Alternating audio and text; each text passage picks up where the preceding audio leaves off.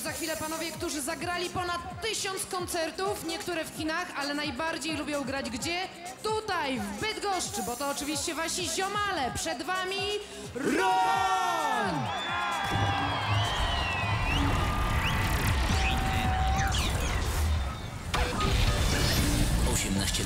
zadebiutowali w Jarocinie. Od tej pory koncertowali nawet na chińskich uniwersytetach. Chińczycy oszaleli na ich punkcie i wysoko umieścili ich hit na listach, deklasując znanych w świecie artystów. Teraz wracają z nową siłą. Grupa Roan.